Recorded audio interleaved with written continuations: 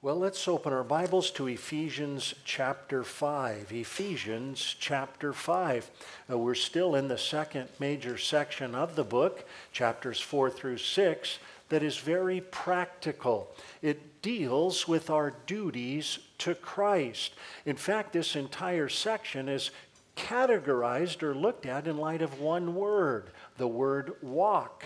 The word carries the idea of the life we live as Christians, our Christian walk, we would say. And so far, we've looked at four separate aspects of our walk as believers. Paul told us to walk in a worthy manner. He said to walk in a different manner, to walk in a loving manner, and to walk in a lighted manner, if you will. And last time we were together, we said if we were walking in love and walking in light, it's going to be seen in our lives. There's going to be a notif- noticeable change or transformation in our lives as it pertains to what we do and where we go. Now, it certainly doesn't mean that we're perfect, but we saw three separate aspects of what would result from walking in love and walking in light we saw that we'll give thanks to the Lord, we'll be set apart for the Lord, and we'll bear fruit unto the Lord. Well, this brings us to verse 15 of Ephesians chapter 5, where Paul is going to deal with one more aspect of our walk. And that involves the fact that we should walk circumspectly. So let's pick up our reading in verse 15, uh, reading down through verse 21 in our study today. Ephesians chapter 5, beginning in verse 15. See then that you walk circumspectly, not as fools, but as wise, redeeming the time because the days are evil. Therefore, do not be unwise, but understand what the will of the Lord is. And do not be drunk with wine, in which is dissipation but be filled with the Spirit, speaking to one another in psalms and hymns and spiritual songs, singing and making melody in your heart to the Lord, giving thanks always for all things to God the Father in the name of our Lord Jesus Christ, submitting to one another in the fear of God. Now, while there's not very many verses we'll be looking at in our study today, there is quite a bit of information there. And it all starts, it all begins with an imperative or a command. And that, of course, is seen in verse 15 to walk circumspectly. Take a look. Back in Ephesians 5:15, Paul said, "See then that you walk circumspectly, not as fools, but as wise." Now, we've talked about the word walk in our last few studies. It carries the idea of the life we live as a believer, our Christian walk. The word circumspectly means diligent, accurate, or careful. We might say in our modern day vernacular, watch your step. watch your step. Now, we watch our step, physically speaking, do we not? We don't walk as fools, we walk as wise, because if we're walking as fools, we walk with our eyes shut. But if we're walking as wise, we walk with our eyes open so we can watch our steps, so we can see clearly where we're going, physically speaking. Now, if that is true for us physically, it should be equally true for us spiritually we need to keep our spiritual eyes open, we might say, to see where we're going or to see where we're walking or ultimately what kind of life we are living. Now, as it pertains to this idea of walking circumspectly, as it pertains to our spiritual well being, there are many things we can look at and learn about. But in our text, Paul gives us three things, if you're taking notes or outlining our study today, three things we need to look at regarding walking circumspectly. Number one, if we're walking circumspectly, number one, it involves redeeming the time. Redeeming the time. Take a look at verse 16. Paul says, redeeming the time because the days are evil. If we're walking circumspectly, if we're watching our step, we're going to redeem the time. Uh, the word redeem is only used four times in the entire New Testament. This particular word, it means to purchase back or to buy the ransom. Now, the word time is not the typical word for time, the word chronos, which speaks of a moment in time. It's a much different word. It's the word kairos. It means an epoch of time or a season of time. And the point for us is pretty simple it speaks of purchasing or obtaining every moment of time in our lives as it pertains to telling people about Jesus. I mean, that's redeeming the time for you and for me. If we're walking circumspectly, if we're walking in a spiritual realm, we might say, if we're walking in light of the spiritual aspect of who we are and what life's all about, we're going to look for each and every opportunity when we go to work, when we're at school, when we're on vacation, when we're in the community, when we're at the store, no matter where we're at, what we're into, or what we're up to, we're going to be looking for every opportunity possible to tell as many men and women and boys and girls about Jesus as we possibly can. Because ultimately, that's what life's all about. I mean, look, we get this question often, do we not? What is life all about? I mean, my alarm goes off at 4:30 in the morning. I get up, I drive 2 hours, I work 12 hours, I drive 2 more hours home, I eat dinner, I go to bed and my alarm goes off again. I mean, what in the world is life all about? Does anybody understand what we're talking about? First service had no idea, they're all retired.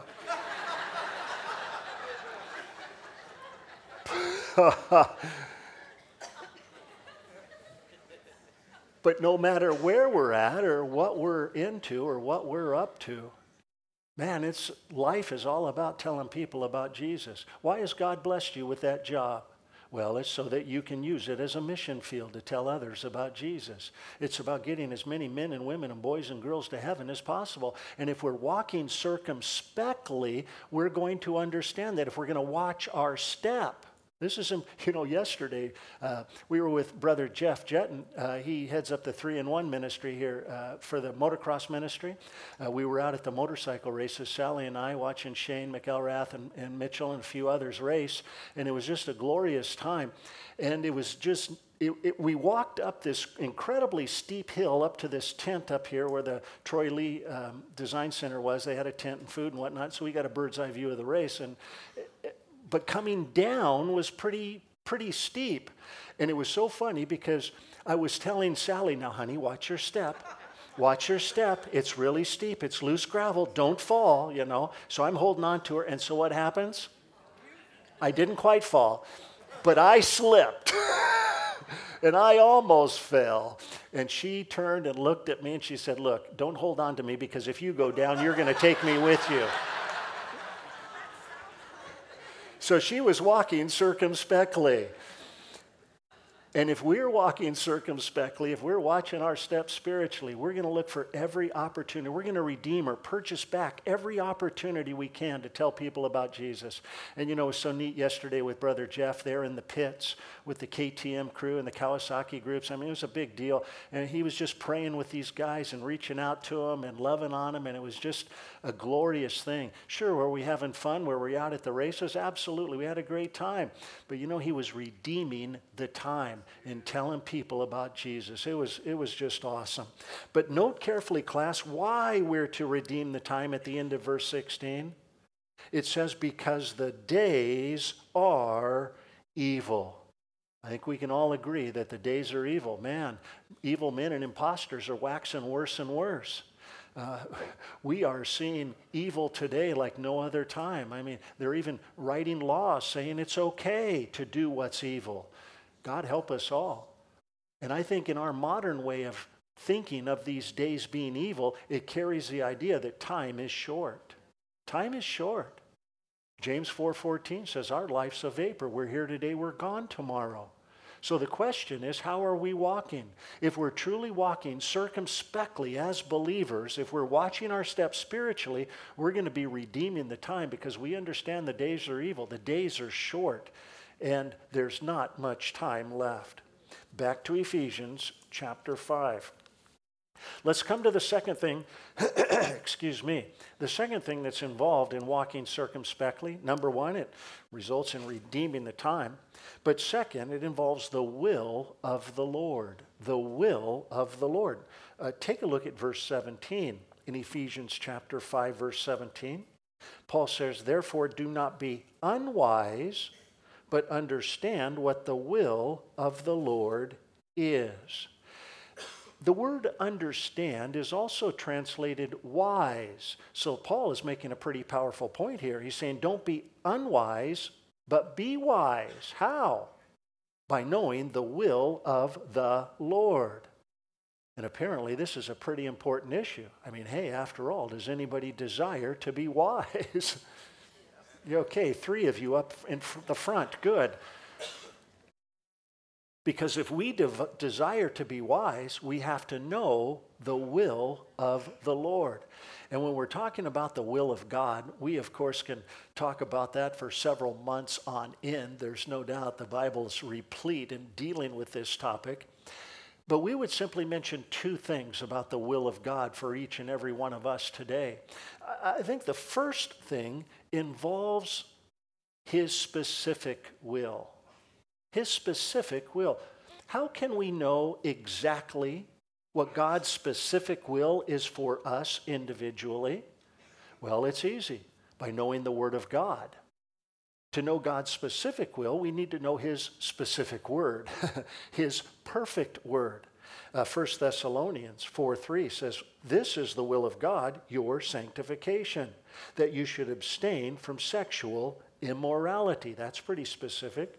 1 Thessalonians 5:18 says in everything give thanks for this is the will of God. 1 Peter 2:15 This is the will of God that by doing good you may put to silence the ignorance of foolish men. 1 Peter 4:2 It is the will of God we do not live after the flesh. 1 John 2:17 If we do the will of God we abide forever. You say okay Clark I get it. We need to know the word of God if we want to know the will of God, especially as it pertains to His specific will. And that's why we place such great importance on teaching the Bible. We don't just talk about the Bible or deal with random topics in the Bible. We teach the totality of the Bible from Genesis to Revelation. So we get the whole counsel of God. So we understand the will of God in each and every aspect of our lives, specifically, exactly, as it pertains to what we should or should not do. But there's a second aspect of God's will we should probably look at, and that involves His perfect will. His perfect will. I'd like you to turn over to Romans chapter 12 for just a moment, if you would please. Romans chapter 12 because it's important for all of us to know God's perfect will. We might even call it His general will for our life.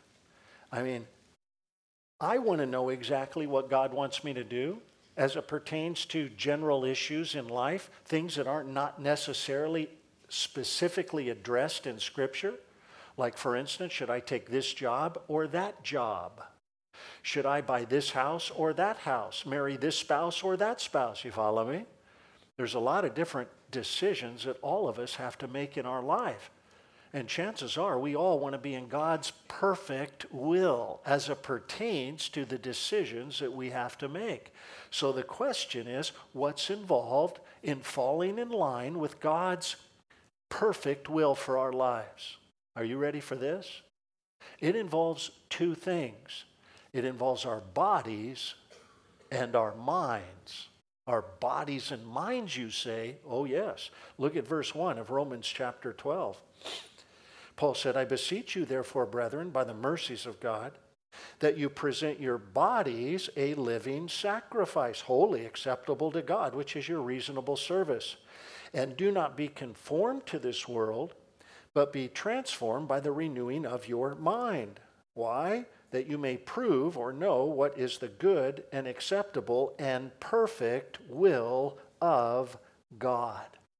And the idea is if we're living for the Lord with our bodies in verse 1, and we're thinking about the Lord with our minds in verse 2, we're going to be directed by the Lord. He's going to bring us into His perfect will. Now, there's probably one thing we should mention about living for the Lord and thinking about the Lord as we're being directed by the Lord, as we are directed by God into his perfect will regarding choosing A or B, whatever the choice may be, it might not necessarily lead us from point A to point B right away. In other words, God might get us to point B, which of course is his perfect will, where he wants us to be, but it might not be a straight shot. he might take us the circuitous route, the arduous route. Why? Well, because where would be the faith? If he took us from point A to point B with a straight direct shot with one step, where would be the faith? We can just take 1 Corinthians 5 7 right out of the Bible that we're to walk by faith and not by sight. Yeah. So, will we eventually get to point B, which represents God's perfect will in our life? Oh, yes. The children of Israel went from Kadesh Barnea to the promised land, which is only a, a, a one day journey. But it took them 40 years. Was God leading them the whole way? Absolutely, with a pillar of fire by day and a pillar of cloud by night, or pillar of cloud by day and a pillar of fire by night. Oh, he was leading them, and he was getting them from point A to point B according to his perfect will.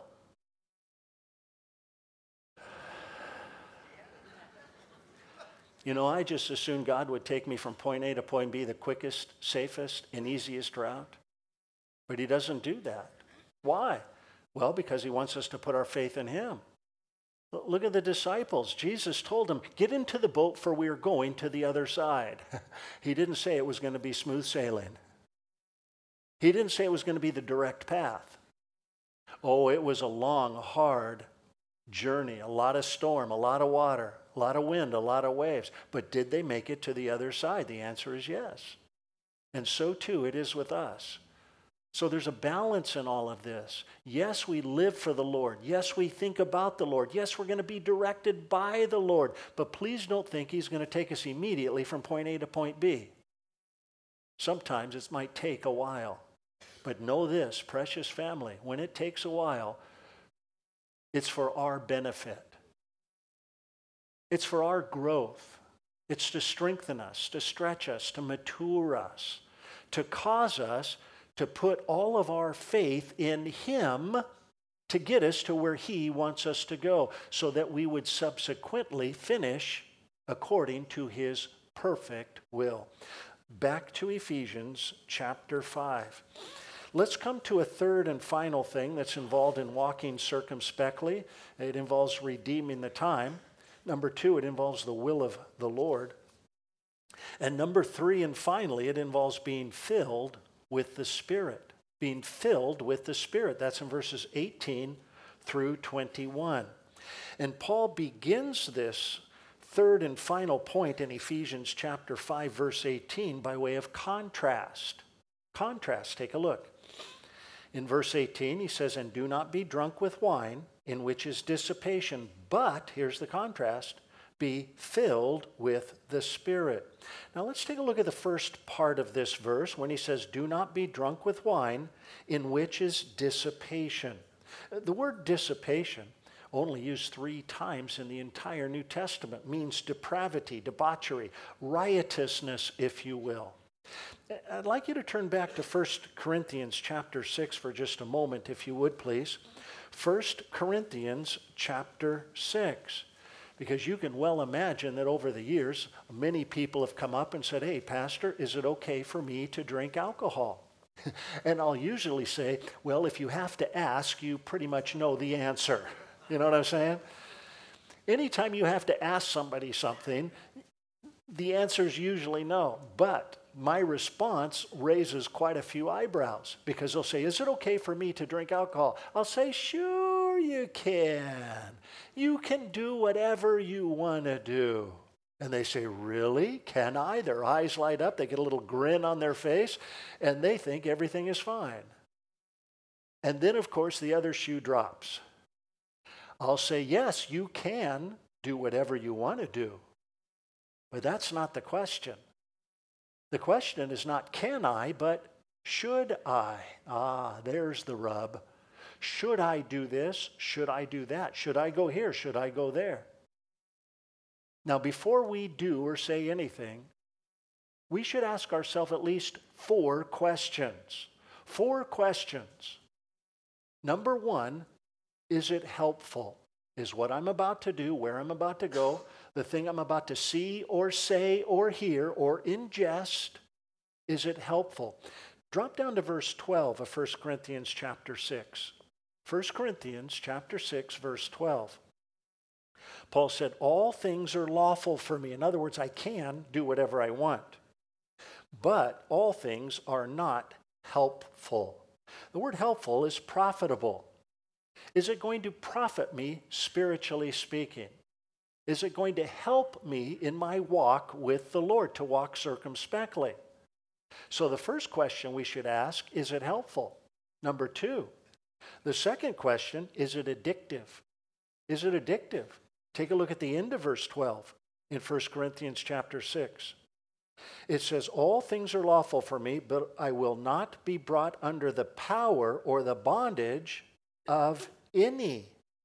Is what I'm about to do going to bring me under its power? Is it going to bring me into bondage? Is it addictive, if you will? Every year around Christmas time,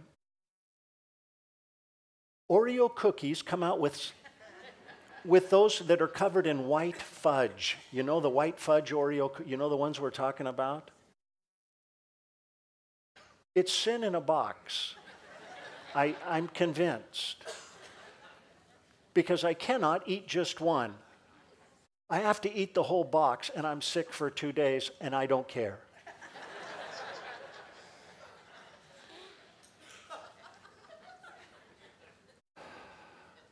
Now, for me, those are sin. I can't have them. Clark, it's a cookie. Come on. oh, it's a cookie to you. it's addictive for me. Follow me? So it's not about the actual product. We, we kind of get off track with that. Well, come on, that's really not bad. Oh, yes, it is. And we can plug in any variable, variable by the way alcohol, gambling, cigarettes, drugs, food, this, that, the uh, follow me? Hey, this is serious. If it brings me under its power, it's wrong, and Satan can use that, and we all need to be very careful. Now, there's a third thing we should ask ourselves Does it stumble? Is it stumbling others? Turn over to chapter 8, 1 Corinthians chapter 8, one page to the right. Excuse me. Look at verse 9. In verse 9 of 1 Corinthians chapter 8, Paul said, But food, verse 9, excuse me, he said, But beware, 1 Corinthians 8 9, beware, lest somehow this liberty, this freedom of yours, has become a. excuse me, one second. Let me get a drink of water here. Never mind. We can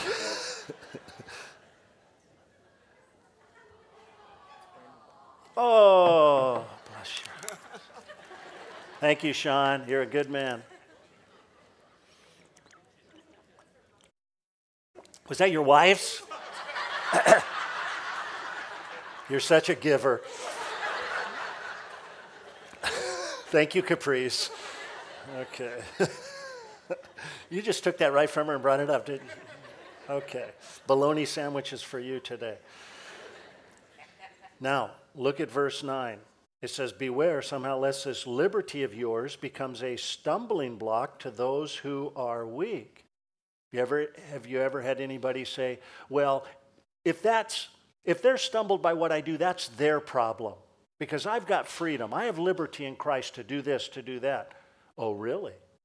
You know, the Bible says just the opposite. The Bible says it's sin.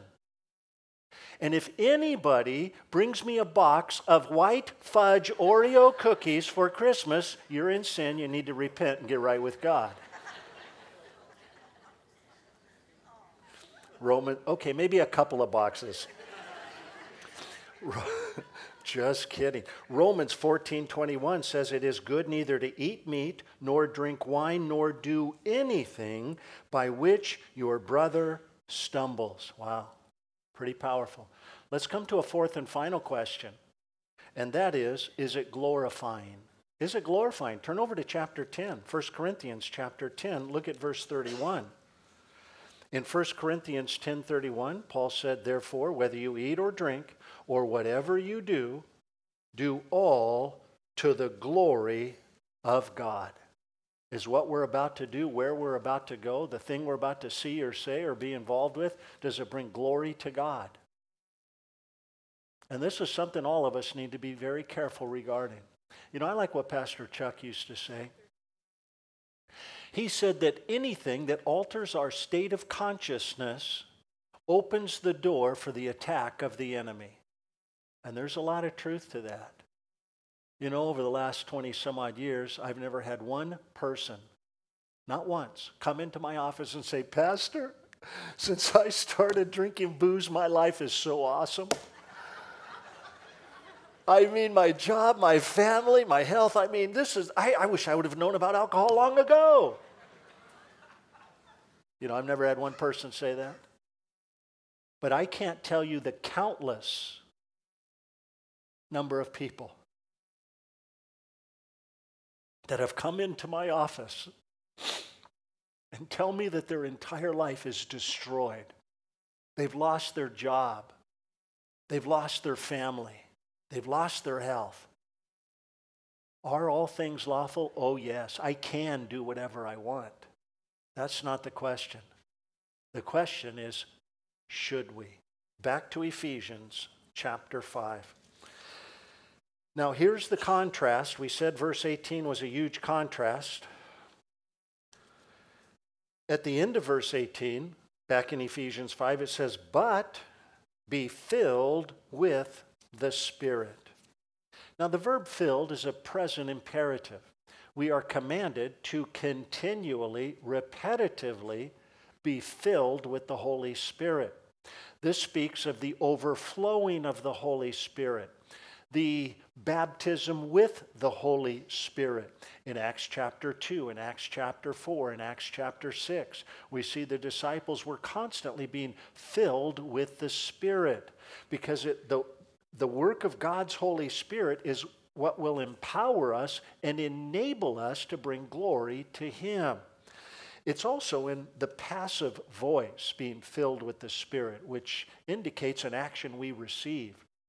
It's something that Jesus Christ does in us and upon us. And I think if we can put verse 18 together in one simple thought, it's pretty simple. Don't be intoxicated with the things of the world, whatever they may be. But we're to be intoxicated with the Spirit of God.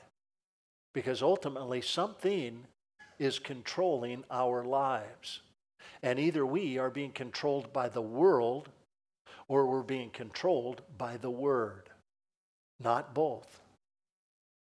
Jesus said, You're for me or against me. Look, there's no middle ground. There's no sitting on the fence. There's no straddling some imaginary line. No, we have a choice to make.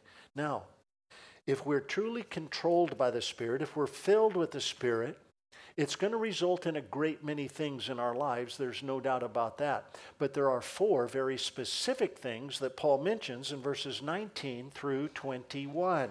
Note them carefully. If we're filled with the Spirit, it'll result in how we speak to others.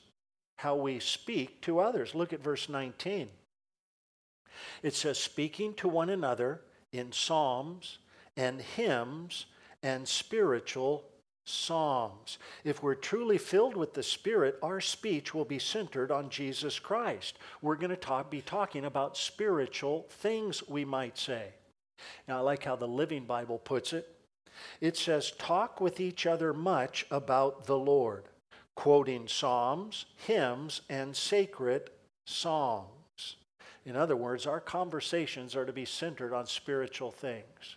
Now, clearly, Paul is not saying that we should all sell our homes, quit our jobs, move to the mountains, and sing kumbaya all day long, though I'm not opposed to that.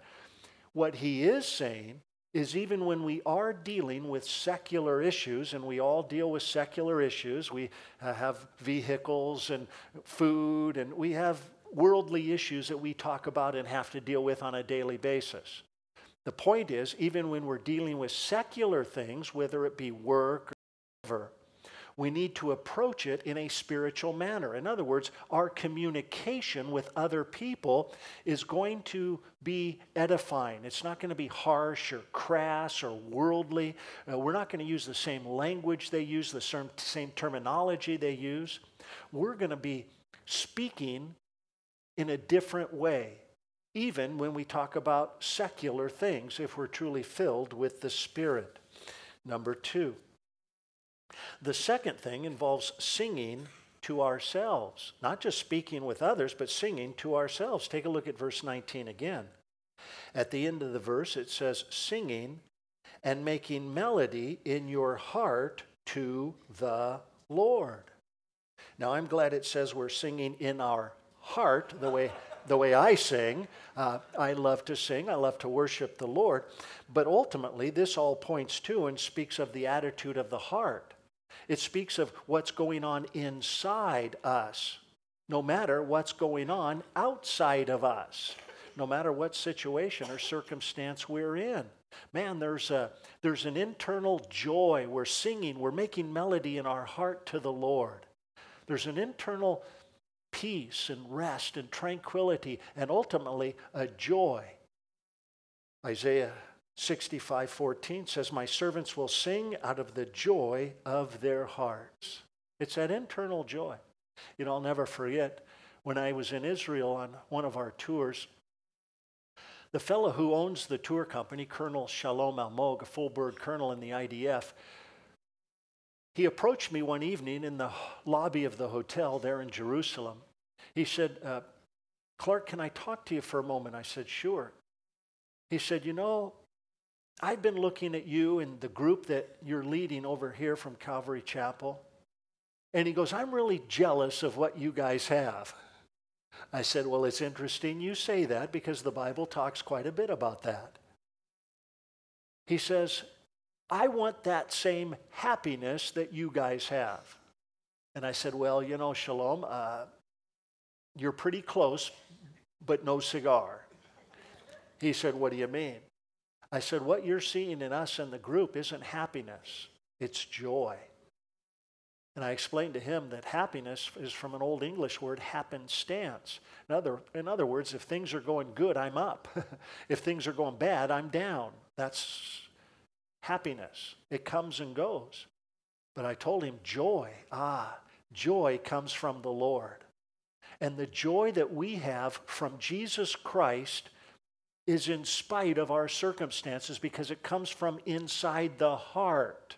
That no matter what we're going through, no matter what we're dealing with, we can sing and have a melody in our heart to the Lord.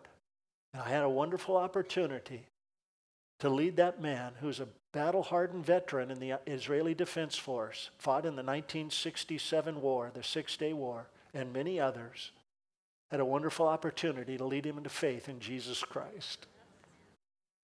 And what a glorious thing for him to be able to receive the joy of the Lord.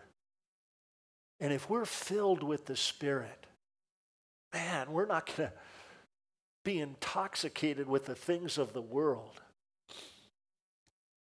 We're going to have joy. And that is a work of the Spirit. Number three, let's come to the third thing that is the byproduct of being filled with the Spirit. And I like this one. It involves giving thanks. Giving thanks. Look at verse 20. In Ephesians 5:20, Paul said, "Giving thanks always for all things to God the Father in the name of our Lord Jesus Christ." And the point is, if we're truly controlled by the Spirit, if we're being filled with the Spirit, we're going to give thanks by the Spirit. Not just once in a while, not just in certain circumstances or situation, but note carefully in verse 20, it says giving thanks always for all things, whether we put it in category good or category bad. And that must be a work of the Spirit.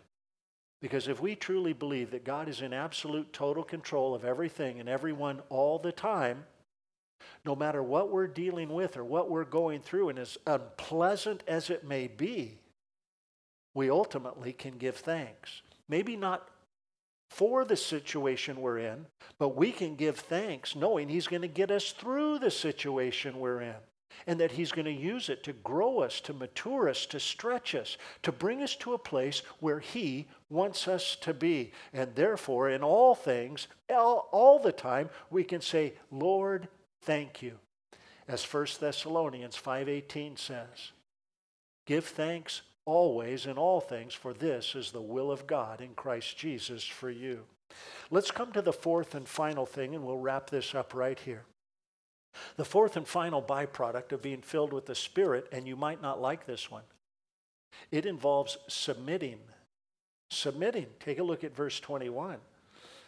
Paul said, submitting to one another in the fear, or we might say the reverential awe of God.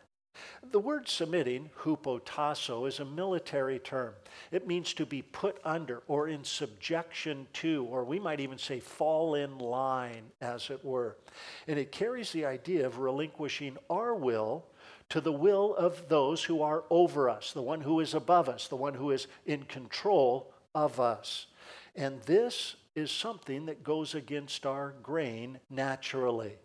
This rubs us all the wrong way, does it not? Submitting to someone else. you know, I'll never forget when my granddaughter was a very young girl.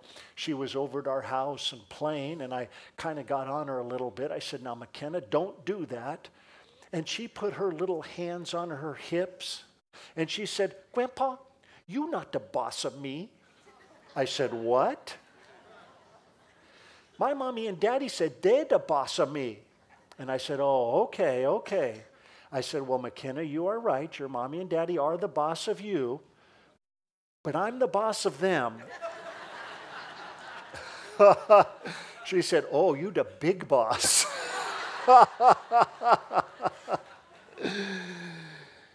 she got the picture. But this is something that grinds us all the wrong way because nobody likes to submit to other people. And so therefore, it must be a work of God's Holy Spirit in our life, humbling us, bringing us to a place of humility so we can say, okay, I'm going to put you first. And ultimately, submitting to one another is really putting others first. Looking out for the interest of others, as Paul said in Philippians chapter 2, verses 3, 4, and 5. And what a beautiful picture we see of going back to verse 18 to being filled with the Spirit. And being filled with the Spirit, although it happens once at the point of salvation, the Holy Spirit indwells us the moment we're saved. Uh, we saw that in Ephesians chapter 1, verse 13, Ephesians chapter 4, verse 30. We're sealed by the Holy Spirit as the guarantee of our inheritance, of our eternal life being filled with the Holy Spirit, the overflowing of the Holy Spirit, the baptism with the Holy Spirit is something that we need each and every day in our lives to enable us and empower us to live a life that brings glory to God. Well, Lord willing, next week, we're going to continue to look at this idea of submission. Paul is going to further elaborate on this idea of being submitting one to another, and he's going to deal with three separate areas. He's going to deal with marriages, he's going to deal with families, and he's going to deal with businesses as we go into chapter 6.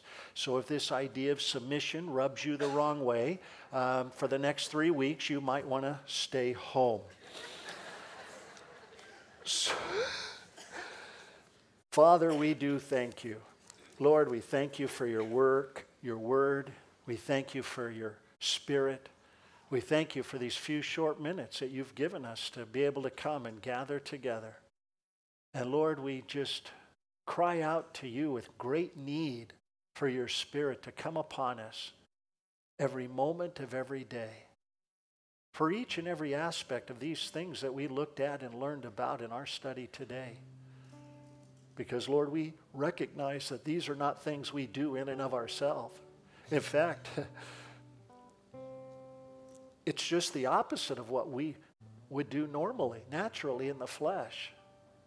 So, Lord, we cry out to you for your Spirit to help us, to empower us, to enable us to do that which you have commanded us.